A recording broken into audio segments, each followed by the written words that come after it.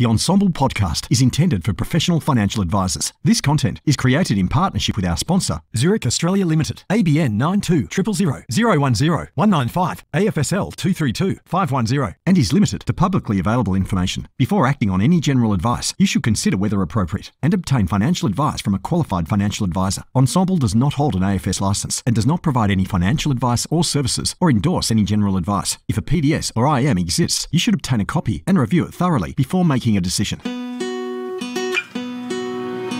Hi, I'm Andrew Rocks from Ensombl, and I'm thrilled to be bringing to you uh, the podcast Engine Room that's devoted entirely to the practices or the business of the business of financial advice. Over the course of the next many months, we're going to be interviewing Australia's best independent boutique advice firms, their practice managers, their GMs, on what environment is conducive to being a best practice how they keep talent, how they attract talent, and what the future of financial advice is. It's the Engine Room podcast. Welcome aboard.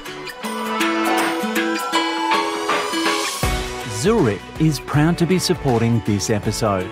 The Zurich and OnePath Advisor portal is more efficient than ever before, giving you access to two leading brands with three highly sought after products, underpinned by two powerful underwriting engines, all with one simple sign on, making it easier for you to do business and perform at your best.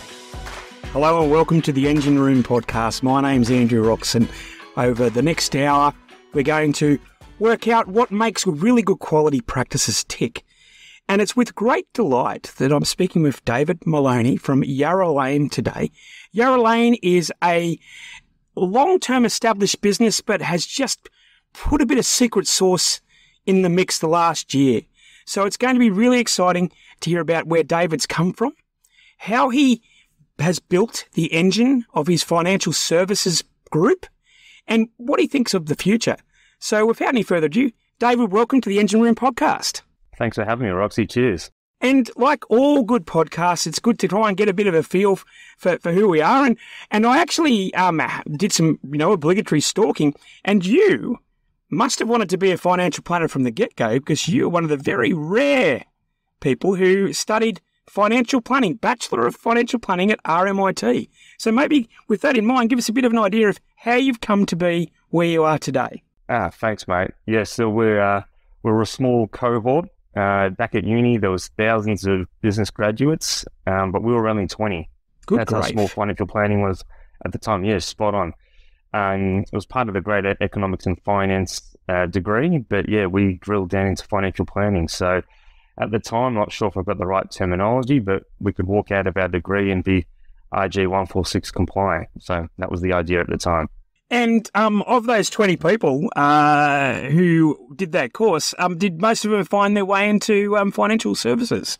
It's a good question. I think I was probably one of a handful left. Really, I think most have left um, the industry, which is interesting.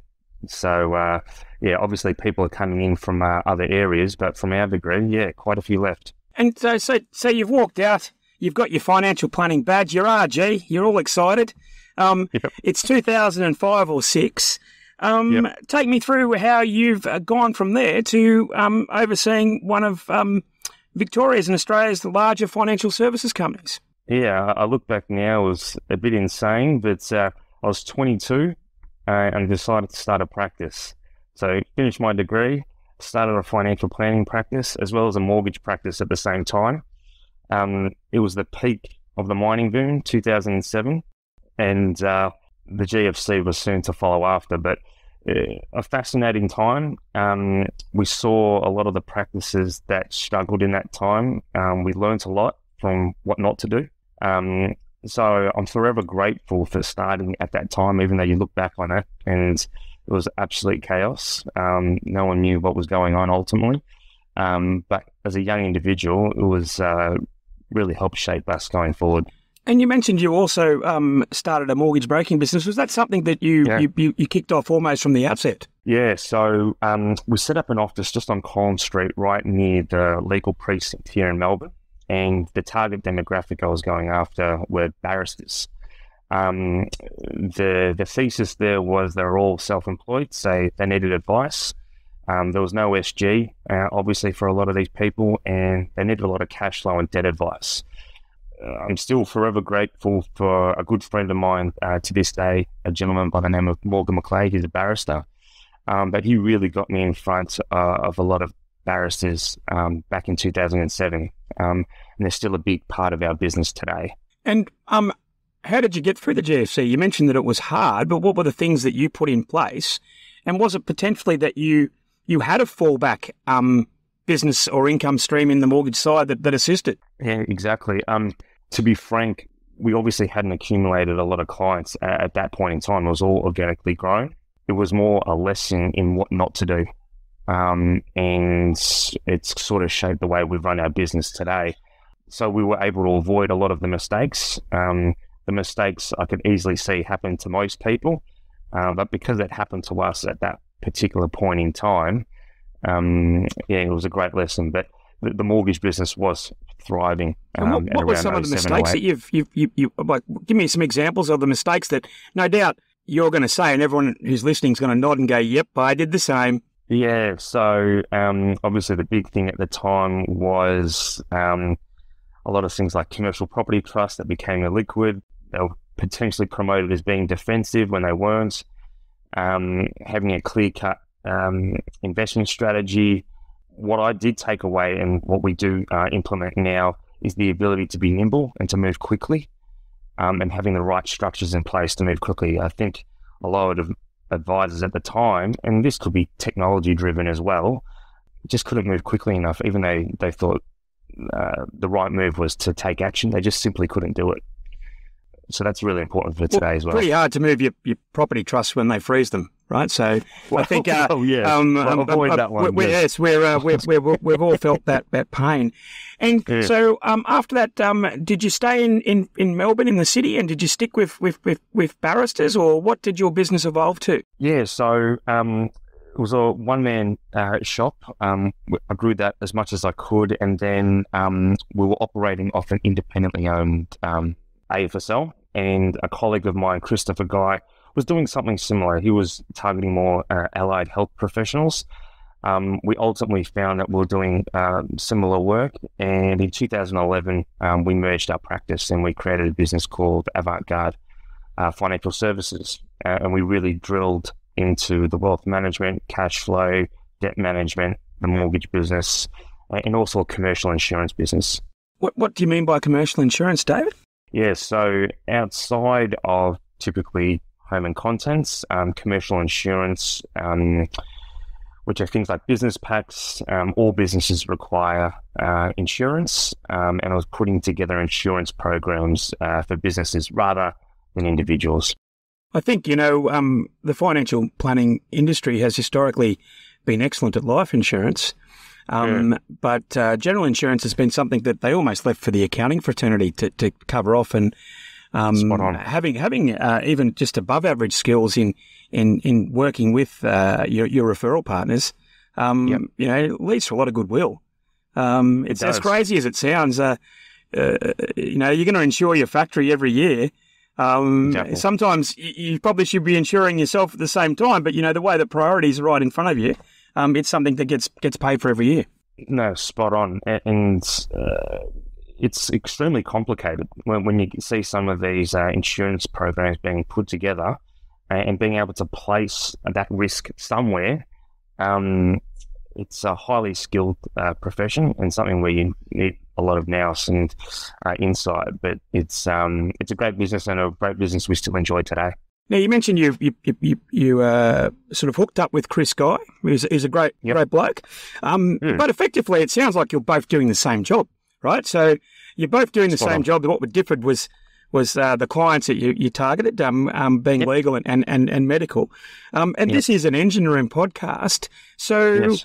um, how has the roles that you both have now evolved? And um, where do you find yourself uh, today? Yeah, so fast forward probably a few years ago, um, uh, Chris and I, um, we built out uh, our business and we merged um, with a group called uh, JPH. Um, and that was a 40 year business targeting uh, pharmacy professionals typically. And what we found was there was a lot of uh, common thread um, in the business. Every client was a business owner, um, professional. Um, so the business lines were uh, very similar. Um, our roles today are very much managerial. We did run with what we called a, a multi-brand strategy uh, a few years ago. Um, we did some acquisitions. So we had the Avant-Garde business, JPH. We had a Macon and Kinsey, which was a law firm. Um, but ultimately, it became a bit too convoluted and confusing. And what we needed to do was to rebrand. Uh, that was a 10 month process. Um, we had a lot of consultation. We had a fantastic group uh, called ET Collective, an agency uh, that put everything together for us. Um, could not have done it without them. Um, we went through a lot of names, um, ultimately settled on Yarra Lane. Um, we, we, think it's a beautiful name. It ties into our roots um, as Melburnians. Um, but uh, Yarra is a fantastic Indigenous word for, you know, river and flow. we like to think that we go with the flow of our clients. And Lane, it's a bit of a homage to Melbourne as well, but Lane also represents structure, and that's what we ultimately give to our clients.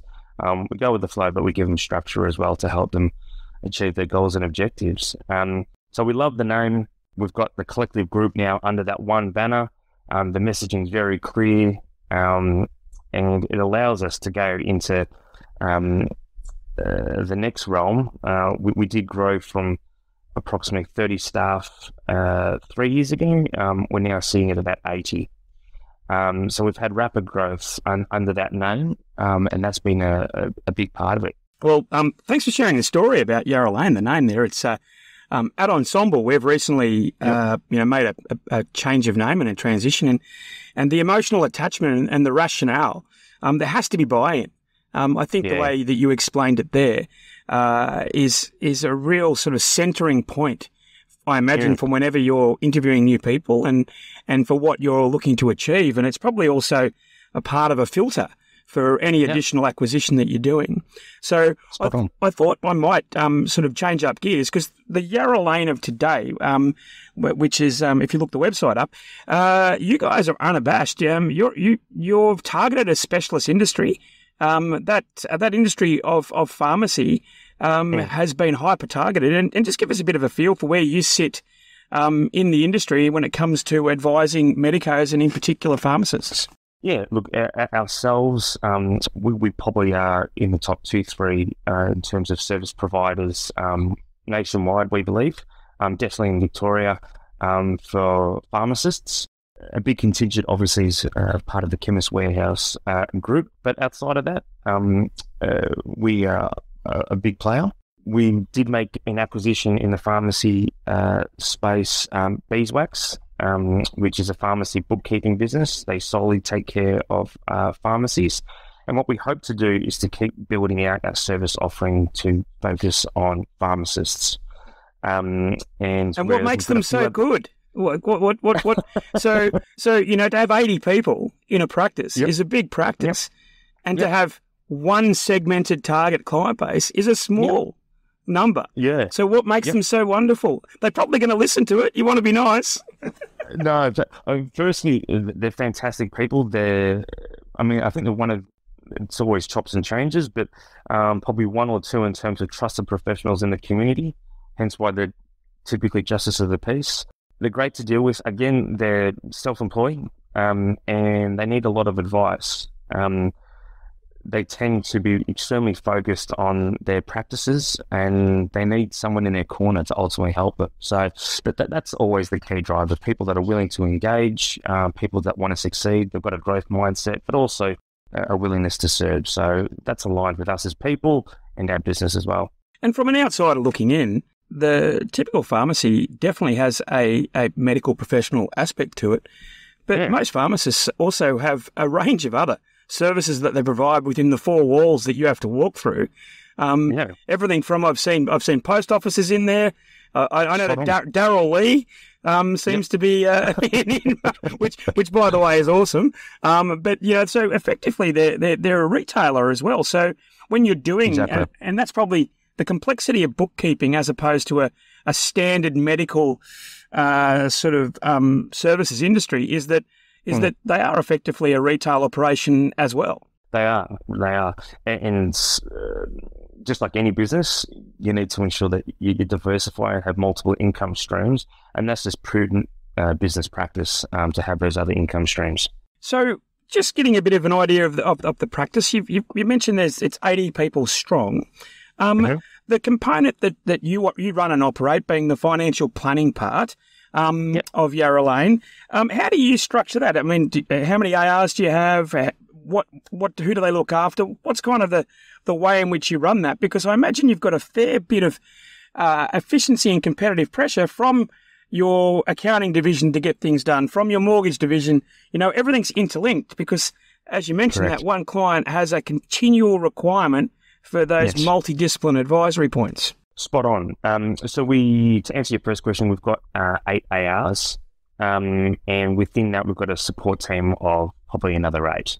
Yeah. Um, so it's a great uh, business. Um, one thing that's in the DNA across our entire practice, and in particular in the financial planning business, is the holistic nature uh, or view of all the advisors or consultants we do take a one view uh, of the client. Um, to help us manage that, we use a bit of software called the Astute Wheel. It's very neat. It gives uh, a 360 view uh, of the client, which every division taps into. Um, doesn't matter if you're a mortgage broker, an accountant, a lawyer, um, a bookkeeper.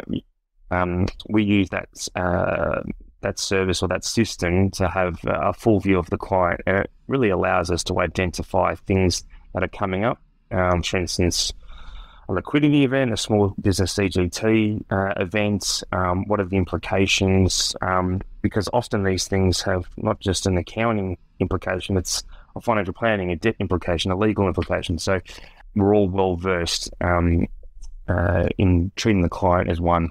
And I look at your business, and it very much is a circle because when you get to the end, you start again, right? Because um, you know things happen, life happens. Um, typically, where where where's the entry point? Um, you know, you, is it the financial advisors also have the role of, of, of, the first impression, or does that come from the accounting business, the mortgage business, or, or where's the where's the first entrance into this into this group? Yeah, that, that's um, that's a great question, and I, I think it's a benefit of having a, a dynamic uh, business, but um, people will have an accounting need. They, they set up a business, there's a, a clear accounting need, um, and that's where the first trusted advisor kind of comes in. Um, sometimes it's from the mortgage business where they need to buy into a practice, they need to get their finance structures right. The mortgage team could potentially be the trusted advisor in that instance. Sometimes with financial planning, there might be a, a particular event you know, sadly, someone might have a heart attack or something along those lines. But you know, we come in at that point, so uh, it, it, doesn't really matter um, where uh, that point comes in. It does literally come from uh, everywhere. And do you feel now that you're um, moved from a multi-brand strategy to a, a, a one-brand strategy, do you feel that the the, the, feeling between the divisions of, of sharing clients faster, of, of teamwork has, has enhanced, or is it something that you still need to work on? It's something um, we always probably need to work on, but we believe that is the key to our success. We're, we're quite good at it, um, we're proficient at it, but we're continually looking to improve that. Um, one of our key corporate pillars is obviously the client experience and and being digital first. Um, so we're working on a lot of things to help enhance uh, that interlinked relationship. Pasquale, who's in our operations of our business, he's got this concept of, you ever saw the 90s movie The Concierge? Um, we've got all these concierges within each division, and they help facilitate um, leads, advice uh, throughout the group. So, and, and, they kind of meet together as a as a group as well. Look, when when a, a business that focuses on pharmacists, um, yep. says they're digital first, considering that pharmacists are the only people that can read doctors' scripts, then I think the world has bloody changed. Um, yep, spot on. So um, we'll come back to Pasquale in, in, in, a second, because where he fits uh-huh. into uh, your engine room across your business, because yep. it is a unique story that I, would mm. like to, um, to to flesh out. Um, just getting back to your advisors, you, do you have eight ARs and, and eight support people. Are they running mm-hmm. pods? Mm-hmm do they look after a certain number of family units? Have you got like people coming through at different age groups? Give us a bit of a feel for the, the, the how dynamic your team is. Yeah, spot on. We did initially start with a centralized system, um, and we have moved to a, a, a pod system. What we wanted to ensure that as we grow, we still have a very personal relationship with our clients, and we didn't want it to feel like um, our clients were uh, another number. Um, so we segmented the team into different pods where our clients got the same client services officer, same paraplanner, same advisors, and ultimately the same team managing them all the way through, um, rather than having this centralized uh, process. It also allows us to conceptualize how we can scale up um, if we need to. Um, and breaking things up into pods you get your ratios right, you get your revenue metrics right. Um, we find that it's it's really working well for us. So um, yeah, that's something we've recently started. And so, what's your ratios um, uh, today, and where would you like them to be? Be, be very interested in that. Yeah, so in the financial planning business, we're hovering. A, uh, are you talking about our profit margins? No, no, just just, just, just client numbers. They're all smart cookies on here. They can work it out if they if they think long and hard enough about it. But just just the ratios yeah. of, of, of the the the pods that you've got and the um the the clientele by number. Yeah, spot on. So we our pods are broken up into two advisors per pod. Um, they share a paraplanner, they share a client services officer, and um, also there's an assistant to that client services officer. Um, so that's the configuration of uh, each of our pods. We think that works for us, um, and it allows some sharing of resources rather than having one advisor that ultimately gets one of everything. Um, we think that works well for us at the moment. But the only way you're going to grow is is each one of those pods needs to be able to manage more people, or you need to grow more pods. So Correct. Where are you at both of those points? You raise a good point. I think yes, we can probably get more out of those pods. Um, in our, we recently did a staff um, survey, and one of the key things that were coming out of it was that they're probably feeling a little bit overworked. There's a lot of volume coming through. So we are actively looking at ways of improving our efficiency, and one of them is automation um, where our staff can actually focus on more things uh, for the client and the things that they're less enthusiastic about doing, um, we do get robots ultimately um, to do that work.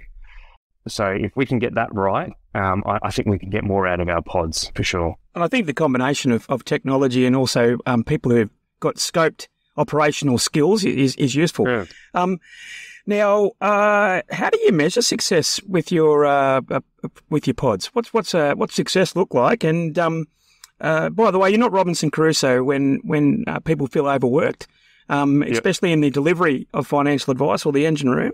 We're coming off ten years of every every external um, piece of legislation or, or, or, influence in financial planning has meant that there's more work for the same Spot outcome. On. So um, I do hope we have a tailwind soon, but um, you know, um, how how do you measure success? Yeah, obviously there's uh, several um, things that we look at. Um, there's the commercial drivers, um, so that's something that keeps us all employed and coming to a happy place. But importantly, we do want to build a business that everyone is proud of. that's something where we do want to promote in the sense that do they enjoy work? Are they happy to refer our business to their friends, uh, as an example? Um, we can measure that success um, through surveys, direct feedback, but also um, our clients um, feeling proud of you know being associated with us and, and continue to work with us. There's probably no better feeling than um, and you still get a kick out of it today um, when you work with clients and they ultimately say, you know, thank you, or um, a bit cliche, but it's still what makes you get out of bed. Yeah, well, I mean, that's coming from a guy who who, who picked financial planning as his, as his degree. So, yep, um, yep. you know, this is not a Johnny come lately kind of a vocation for yourself. Um, Spot on. I'm really interested in how you deliver advice. Um, yep. So, you, you've got a big business by a number. Um. You've still got to be doing SOAs, ROAs. You've still got to be, you know, adhering to all of these things. Do you? Yep. Um, is it in, in, is it completely in house? Is it out house? Uh, do you do you have contractors? Do you, you know, how do you run that that advice delivery, which is um, sort of the necessary engine to run the bit of the business which which cascades up. And uh, having a previous business that was multidisciplined myself, um, yeah. the amount of work that goes into getting a dollar in financial planning, especially when you look across the fence to um, some of your other disciplines, um, you must Spot just on. sort of uh, roll your eyes in, in, in your management meetings. Spot on. Yeah. And sometimes my business partners ask, you know, why can't we deliver this a bit quicker and uh, a bit more cost effectively? but um, yeah, they've got to see the components. And you're right, there's a lot. To answer your question, our tech deck is probably uh, expanding. Um, we do use um, Xplan we see Xplan, and, and everyone's different, um, but we see it more as a data house. Um, things like data feeds, um, having a central point where uh, everything can be fed into. The future for us, though, is a lot of things will plug into Xplan. Um, a lot of things do communicate to that, and there's a lot of bespoke, um, specific bits of software that we can use um, to help with things like advice production, client portals, Got got any favourites, David? Uh, we're Astute Wheel is definitely one of them. Yep. We're, we're, exploring uh, in that at the moment. Um, we are also, um, I might be letting the cat out of the baggie, but um, we are also exploring uh, My Prosperity uh, as something where we can um, enhance the, the client experience um, through their portals. And um, uh, just a bit of hygiene. Uh, uh, how are you licensed? Um, you know, how, how's that operate? Yeah, so we were self licensed, um, but a few years ago we, we gave that up and we're licensed through Interprac, who have been a fantastic uh, partner.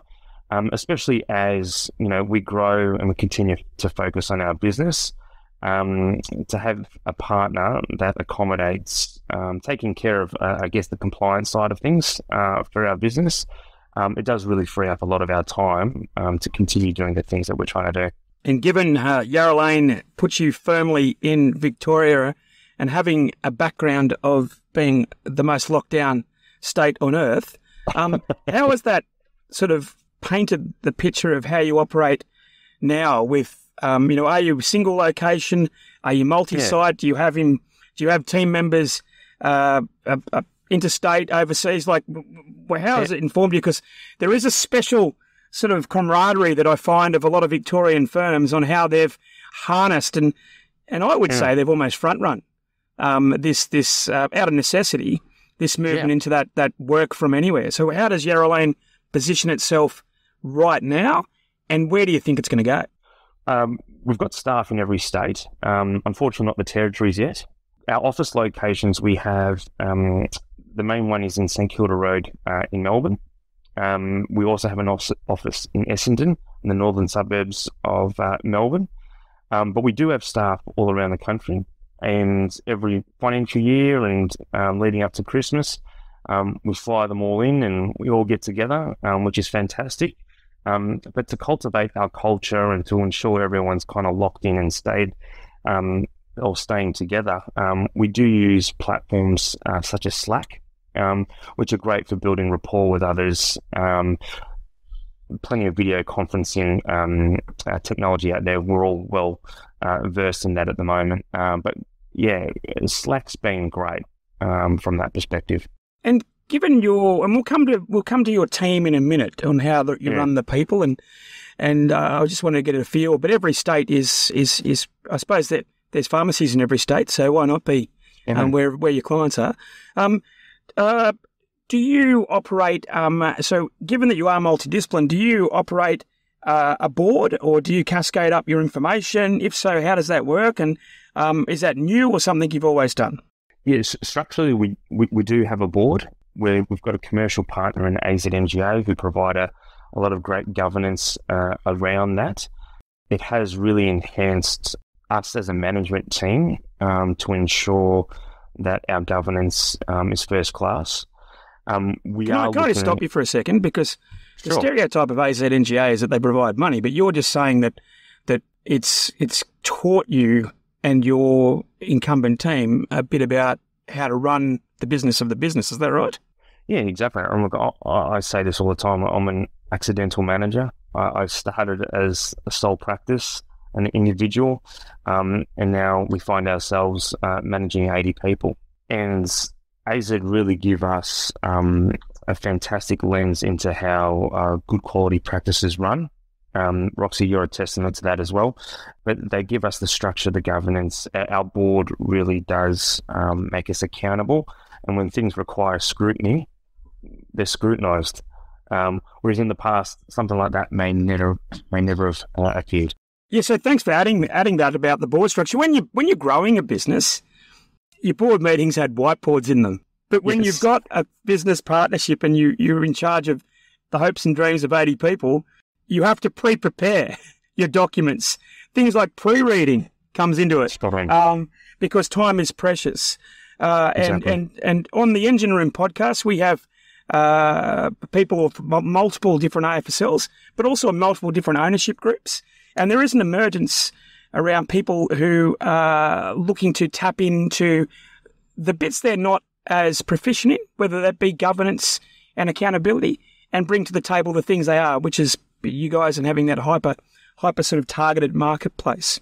So let's talk about the, the people, 80 of them. Yeah. And um and I'm well aware that your 80 are, are, here and you've got you've got them all over the place. Um, yeah. But I would like to ask you a question. Why do people join you and Yarra Why do they stay and why do they grow? Timely question because we've got direct feedback on this right now. Um, I think a key part of our success is, um, and I'm glad to to report this, but our management team probably doesn't have uh, a clear ego, um, so we're quite um, able to adapt um, to our staff's particular needs. Um, we do run a hybrid office, uh, which I think is uh, particularly important to a lot of people now.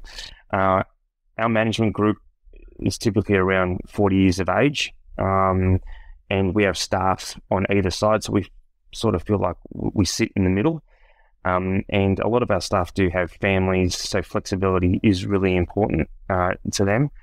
I, I, think that's been a, a, key part of our success, and I think also um, the willingness to hear feedback, implement feedback. Um, we understand we're all not perfect.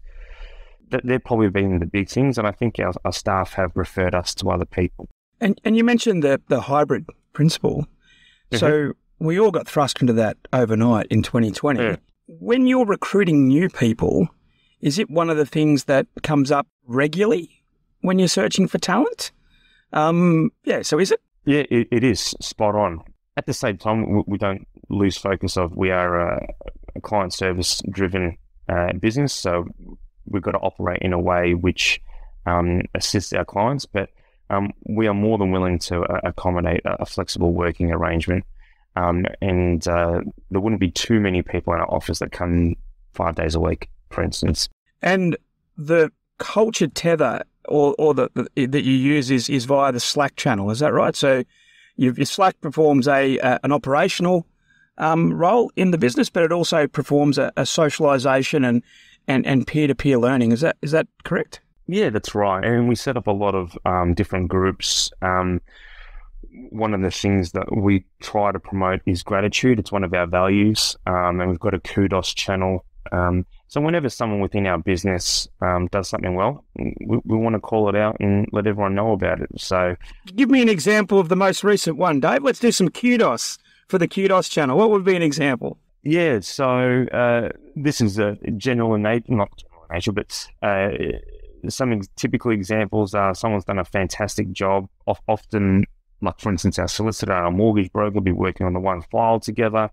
Um, and one of the other professionals will highlight that another professional did a really good job and that they were impressed for you know whatever reason and that, that would happen daily right? So that kudos channel is um, something that really gets utilized a lot. And given that you've that you are one business ostensibly from the client's perspective you're still four or five different professions different disciplines uh, different historical educational uh, journeys how do you arrange the business of of meeting rhythms? Um, so, firstly, for uh, what what kind of meeting rhythms do you have within your financial planning business, and and and potentially, if if you do, how does that cascade into the overall businesses? Yes, yeah, actually, that's a, a really good question because you could have anniversary dates across multiple businesses at different times of the year. So that's actually something that we're looking to consolidate, especially knowing that our clients are extremely busy. We do try to the best as we can to match up things like a tax meeting with a financial planning meeting and having what we call common renew dates. But that is something we are working on because you're right. Uh, some clients might have four or five meetings throughout the year um, with different divisions. Yeah, and their time's precious too. And and maybe exactly. with that, I'll, I'll, do a segue into t- tell me about um, tell me about your business partner, a Pasquale, who's yep. come in via Beeswax, and just yep. a bit about what his background was and what he's doing in the business that's helping you get yeah. those common renewal dates and, and, and, and join the business together. Yeah, so Pasquale, obviously, he is the head of our bookkeeping business, um, and he is a highly processed and well drilled individual. Um, and his uh, business, or the, the Beeswax business, is um, efficiently run. His background is actually in pharmacy. Um, he was a pharmacist himself. He ran his own pharmacy practice. He's you've got, got you've got, you've got like a Trojan horse in no, the business. We, we do, yeah, depends on how you look at it in a good way. Um, but um, but uh, he um, he actually had a real scare. Um, he had, uh, I believe, a heart attack um, at, at a very um, young stage of his uh, career. My other business partner, uh, Nick Perrott, was his advisor at the time. Um, he encouraged him to get trauma cover. Um, he got paid out on that cover, but Nick literally stepped into his a pharmacy and kept the doors open and um, made sure the staff were paid, stock was coming through. And I, I guess that's one of those things where if you are community orientated, yeah, people sort of feel a little bit indebted.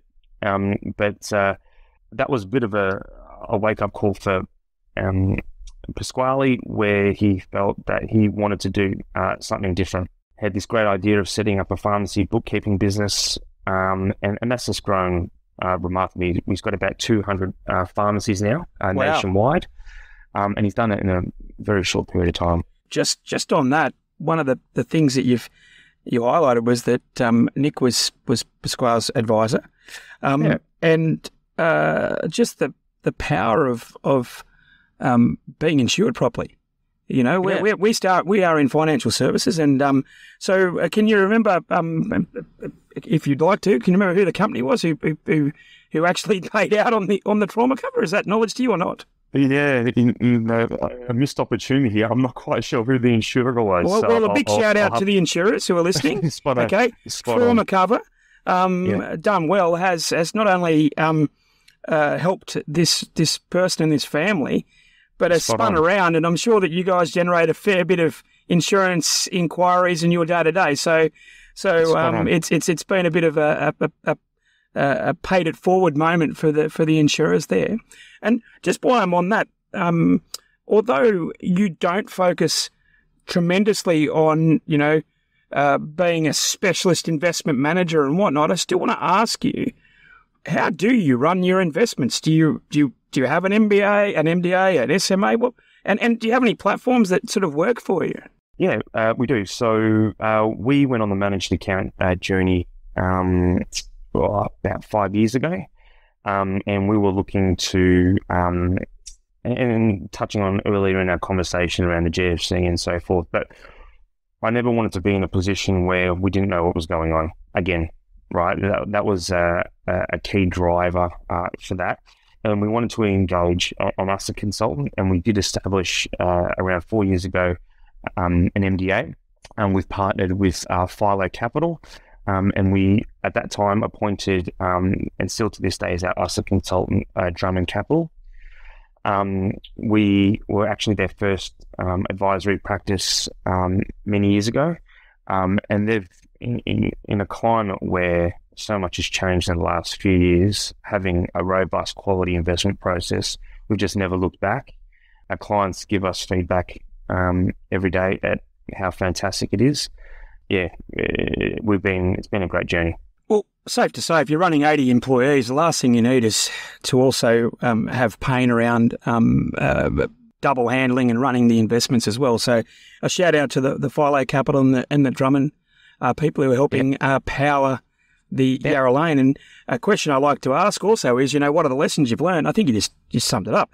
You know, the, the what the GFC taught you is that you you you you can't set and forget, and you need to be nimble, um, because that's what your clients are paying you for. Um, and uh, moving to an MDA um, that many years ago and employing professionals, uh, no doubt has assisted you um, with your clients um, come review time, but also, uh, as you say, it probably gives them a bit more sleep at night because they know that, that you can be quite responsive if anything's happening. Exactly. And, and just structurally, it's a different mindset when an asset consultant is accountable to a business, right? In, in a world where, you know, you get given what you're given with a product, the, the dynamics completely shifted here. Uh, they know that they have to deliver on their mandate in order to maintain the mandate, right? Um, and they've been doing such a fantastic job. Um, and that's where I just, and this is probably uh, becomes more and more um, highlighted in, our minds uh, around governance, but having the right governance in place where we can structurally change things um, on behalf of our clients as custodians of their uh, wealth and their financial positions. Um, we've got the right governance in place and getting the right people managing our, our clients' money. Where Yarra Lane is today is that you've you, you, you've somehow got four or five uh, different businesses that have come together. You've got the common name. You did mention that people like you, go, like your team like you, because there's a perceived lack of ego. But you divide a dollar every time five self-made people came together to try and um, to try and run that. Um, well, congratulations that you've got this far. Yep. But if you guys are all in your early forties, um, which Yeah. is the average age of a financial planner these days, um, what's the next step? Have you got a, a plan to to bring uh, team members in all the different disciplines through? Um, you know, do you do you have an employee share scheme? Is there, you know, now that you've you've you've managed to somehow all still talk to each other under the common thing and, and actually flourish, what's the next steps for you guys structurally, and, and how do you think that's going to be implemented? Yeah, we touched on it uh, slightly uh, before, but um, we- we're establishing our corporate pillars at the moment, which are all aligned um, to our corporate values. Um, so our corporate values are centered around curiosity, simplicity, integrity, and gratitude. So curiosity, simplicity, Simplicity, integrity, and gratitude. and gratitude. Let, let's Spot on. start from the top. Yeah, spot on. So the reason those things are important to us is because they frame the type of business that we want uh, for the future. We don't want something about us. We want our business to be its own entity, its own beast, um, in its own right. Um, and within that, uh, those values, we've established uh, four corporate pillars, which is the client experience, um, digital first, uh, operational excellence, and people and culture, or people and community rather. And within those pillars, we've got a range of uh, initiatives that we're looking to roll out. Um, it's about prioritizing them right now. Um, but in terms of people and community, we've got a staff member. He's a young solicitor, Mitch, um, who does fantastic work for us. But he's got a a side uh, dog charity, um, so we'll be looking to support that. Um, our initial thoughts are our pharmacy uh, client base do a fantastic job of helping out um, the elderly, uh, typically. So we would like all areas covered. So we will make a push into helping out children and underprivileged children. Um, that's really important to us as well. But this is something that's forever evolving, uh, and we're looking to um, roll that out. But we need And- to get these corporate pillars right. Sorry. No, it's all right. And and when did you get these pillars? Because sometimes without direction and priorities, it is it's just it's just busy and crazy. Um, Yep. And how long have you had the pillars uh, for? And did anyone help you um, uh, on that journey? Yeah, so um, a good uh, friend of mine um, from KPMG has uh, indirectly assisted us uh, through this process. We felt that it was really important to get this right now um, because as we continue to grow um, to potentially 300 staff, that's going to be a very hard ship to move if we haven't got this stuff right now. So we're at a, a, a nice little moment in the evolution of our business where we can really get this right. Absolutely, I can tell you, uh, you get you get capacity constraints at around ten people in a business. Yeah. Mm. Because up to ten, the charisma of the lead, the lead singer can can drag it forward, and then you normally have a crisis of confidence around that thirty, when Yep. the lead singer realizes no matter how much revenue they they write, they've still got to pay bills, and you need to do it. And I think that potentially uh, your grouping has has um, uh, leapfrogged that thirty capacity hurdle um, by by bringing in the smarts of, of the AZ team, but also bringing together the, the four or five pillars. But if I put my VBP hat on, the next one is 100 and 300. And what gets you there doesn't get you forward after that. Um, Right. Because words matter the bigger Mm. you get, and Right. your ability to communicate, and you realize that, that when you speak, to to anyone that, that lots of people are analysing you what you're talking about. So so the corporate communications internally is arguably more important than, than what you say to the clients because the clients end up being the, the fixed part of the business and your Yeah. own team end up being the variable. It's funny Yeah. how that switches. So that's just my, my anecdotal kind of thing. And, and, you know, we'd love to see you guys get, get to 300. Now, um, when when you uh, mention that you you do surveys, uh, you've got charitable programs, um, it sounds like you'd be a classic candidate to put yourself up for the great place to work in Australia. Is that something that you guys have looked into? That's right. So that's one of our in- initiatives um, that we're putting together, uh, and uh, we have never done it before. Um, so we'll go through that process. Oh, so you're doing uh, it now? Is that what you're saying? Uh, we're about to, yeah. Okay. So that, that's Oh, cool. something Pasquale Pasquale would drive. So that's very uh, exciting. Yeah, well, as, as, as someone who's been through the process, it's awesome. Okay, Yep. rain, hail, or shine. It's um, uh, you know, you mentioned the word accountability. It's all good and well Yeah. having accountability on the numbers, but if you're not accountable for um, the, the, the the people, then then you're in trouble. And I think you mentioned that you did a survey, and, and people are saying they're a bit overworked. Um, You know, if I had a dollar, that's kind of um, uh, I think that that most people engage my, one of my other businesses, which which supplies global talent, um, because they think that uh, we're going to be able to do a lot more things for them. But the first step is actually we just help their existing people, you know, get their workload under control and, and, and avoid them kind of sending you the dear John letter, which is which is terrible because you don't lose, you know, the real smarts. So um, yeah, No, exactly. well, good good luck with that one there. Um, and uh, when I wanted to also just just go back to when you're recruiting people. So, are you actively recruiting people at the moment, David, in your business? We are. Um, so we're always on the hunt for great people. I know it sounds uh, it's a cliche. Um, Well, no one's on the hunt for bad people, so that's Yeah, never been no, said in this yeah. in any forum. So, so there's, there's hunting happening. yeah, exactly. And what we often find is when you need someone, it's often hard to find them at that time. So we're constantly on the search. Um, and uh, we- we've got a bit of a, a database um, that we're kind of putting together in positions that we think um, need filling. Um, we are looking for, for instance, an associate at the moment within the wealth management business. Uh, just to help with uh, a bit of the workload and potentially one day help establish a new pod, right? So, we do have a bit of an evolution there where we invest in some uh, graduates, um, and we've got a great team uh, of young graduates coming through. But yeah, the pursuit for for talent it's it's ongoing. We don't want to be reactionary when we're finding people. Yeah, well, uh, look, that's that's the million dollar question, and and and having graduates um, come in, look, you're going to do yourselves uh, an, uh, a lot of favors if you if you're adhering to, you know, those pillars of curiosity, simplicity, gratitude. Um, the the hierarchical requirements of why people work is is is you know money's one of them, but it's not the only thing. You mentioned the environment, um, yeah, the the way in which you, you, you interact with everyone. We've, I've mentioned, uh, I've asked a few other questions, but when you actually do succeed, how, do you reward yourself? What's fun in Yarra Lane? How does that work? Yeah, so we do have some fantastic social events within the business, um, and, and I'll tie in, in with reward. But um, things like we have air fryer Wednesdays. You know, the staff get together; they all bring in their frozen food, and we get it into the air fryers.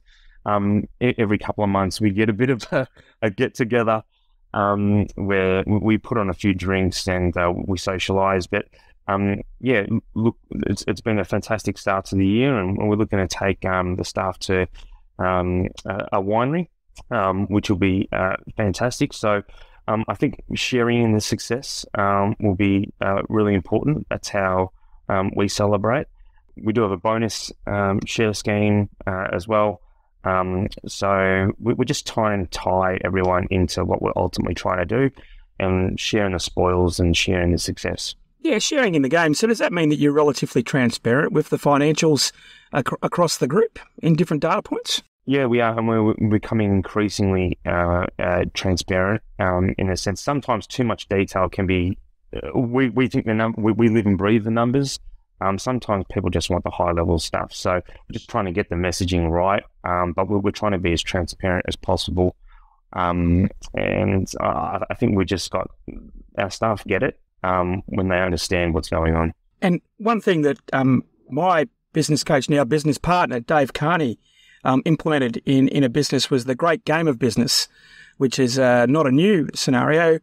And uh, it's it's kind of where you share the, the numbers and people get a share in uh, the profits over and above the a requirement. Well, that's the outcome. But the process is that the different people in different divisions own a line in the P&L. So if you're on the revenue side, you own a line, and that's pretty typical. But also, if you're on the cost side, you own a line as well. And so, although you know, when you add up all those lines, there is a lot. The reality is, each individual's only really focused on the thing that they can control. Um, and uh, you know, if you haven't looked into that, I'd, I'd, recommend just just sort of looking that up and and, and rolling with it because it's made a it's made a big difference, mainly to the people on the cost side, because historically yeah. they've been left out of these kind of conversations because you, you know, it's point. been all about the top line, right? So, yeah, it's, um, it's it. Now, given your, you know, your 20 odd years, I think you started mm-hmm. uni in 2003, you're 20 odd years into this, you're not a spring chicken anymore. Um, but you still look it, you know, it's, uh, which, which, uh, on a podcast, everyone gets a real fit, real feel for how people are looking. Um, and your clients uh, are not a passing fad. Um, you know, the, the aging of Australians and, and, and, uh, is going to call for more and more sort of assistance in pharmaceutical. And there's no doubt that if, if, if you wanted to pivot into other allied uh, uh medical um, areas, you have the credibility to do so. So, you know, you can keep that up your sleeve. But what's, what's your vision, vision for the future? Because this podcast is very much engine room practice manager. And mm-hmm. I've spoken to quite a few people, and some people have come through the administration side of a, of a practice and they've they've they've they've ended up being head of operations, then GM or or, or, or, or PM. And some people like yourself have come through the advisory side. Is it something that you know? Where do you see the future for practice managers? And do you feel there's just a big gap in the whole industry around you know training, grooming, mentoring people for that role? It is. It's in terms of the commonality amongst those people. I'm not sure what that is just yet we we like to think we we avoided things like uh, timesheets um, because we wanted our staff to be uh, collaborative and have this real culture of helping each other out.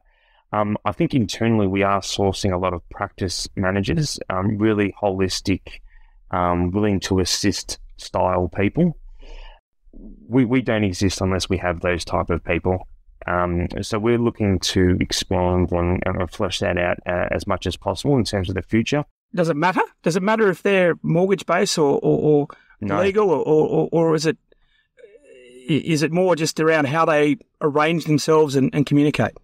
Spot on, and, and, our business is full of people that where um, it doesn't matter what your background is, um, you can still play a role in, in that practice manager uh, position uh, I don't know to to use a probably a corny reference, but probably a bit like the early explorers. You don't quite know how it's all going to look, um, but you know you're probably on the right path to somewhere. Um, but yeah, as long as we keep investing in our people, um, I, I, think we'll get the right um, mix of individuals. And Yarra Lane feels like it's been a lot in the last three years, and you have had COVID at the same time. But if if if people are out there listening what are the specific, you know, are, are, you guys, you mentioned that you're in the market for, you said practice management. Um, you, you, you have a, a, a, bit of a history in bringing graduates through. So that's obviously in their PY, etc. Um, are you interested in more acquisitions? You know, what's, what's kind of, uh, where, where, do you sit right now? And if, I, if I'm listening to this and I liked what I hear, um, yeah, what's what's the, the appetite at the moment for Yarra Lane? Look, we've grown uh, through acquisitions. Our focus uh, at the moment is on the operational side and making sure everything's bedded down and everything's running as smoothly as possible. Um, but then we will look to uh, go again um, and continue uh, the acquisition. So we are always uh, on the lookout. And as you're probably aware, Roxy, these things don't happen overnight. So you need to have those conversations now um, with people. So we have been um, in discussions with uh, practices, and that's been something that we've always done. Um, so we are definitely looking uh, for businesses that are aligned with ours. We're not solely uh, pharmacy uh, related. Um, we bought a high net wealth uh, business last year, um, and they've been a fantastic um, part of our business. And what we've actually found is that they get a breath of fresh air where they come into a, a bigger practice that's multidisciplinary. Um, I think financial planners by nature are holistic in their thinking, uh, and they've got this ability which they've never had before to actually assist in different business lines um, and, and, really get great outcomes for clients. Um, so we definitely are on the acquisition path. Um, it's just about finding uh, aligned businesses. Yeah, culturally aligned, and and what I, I liken it to, and I'll borrow a a, a purely Melbourne phrase, is that um, there are a lot of Formula One drivers out there of people who want to talk with clients, but if you if you don't have a pit crew that when you pull up puts all four wheels back on, if you don't have the ability uh, to to be multidisciplined, then it's more difficult to service that. Notwithstanding that, there, there, there, you know, what my observation out there in in practices are, there are a lot of practices that achieve the same result by being hyper hyper specialized and mm. and referring to other businesses, which which and there are a lot of businesses that are sort of coming at from your perspective, and I think the people that struggle are the ones that are in between, where they haven't worked out that they want to be hyper specialized, um, or they haven't worked out that they need to collaborate um, is that a sentiment that you would share? Spot on, and we were there. So we were a bit in no man's land. So we we wanted to ensure that um, we did give this a, a good crack and, and, continue to grow, but really hone in on our specialities, um, which also includes um, uh, barristers. And you know, every six months we give uh, a new young barrister a, a grant, um, and we run that every six months. And we want to continue doing those type of things um, within our client demographic um, uh, to continue to hone into that those specializations, but also build a corporate profile that uh, attracts other businesses and other people um, to join us. Before we finish up, you are the consummate a modern day professional. Where, where thank you very much. You're doing a podcast on your way to a wedding. You're doing this at an Airbnb. You've informed yes. me that you're going to a board meeting that'll probably be conducted via via the internet in, in the car park. So, um, you know, this is this is financial advice in, in 2024. David, it's been a yep. it's been a pleasure to unpack uh, the Yarra Lane um, story. It's been a uh, it's been um, eye opening. Um, the the the speed with which um, you can come together and the size. Um, mm. That figure of uh, that ambitious figure of 300 people in your group would would would make you guys um, one there or thereabouts one of the larger uh, sort of practices in, in this country. And I wish you yeah. and all of your team who no doubt yeah. are, are, listening to this on behalf of myself and Ensombl and the Engine Room podcast, um, all the best. Cheers. Thank you very much. Thanks, mate. Thanks, Rocky. Cheers.